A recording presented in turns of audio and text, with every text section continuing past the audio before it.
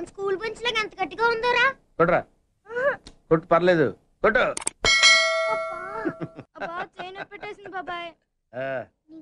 ఏంటి? నువ్వు కొడతావా? కమా బిట్ మీ వద్దు బాబాయ్. వాణ్ణి నేను కొట్టడం లేదమ్మా. వాణ్ణే నన్ను కొట్టమంటున్నాను. నువ్వేం కంగారు పడక్కర్లేదు. అడుగుతావేంటి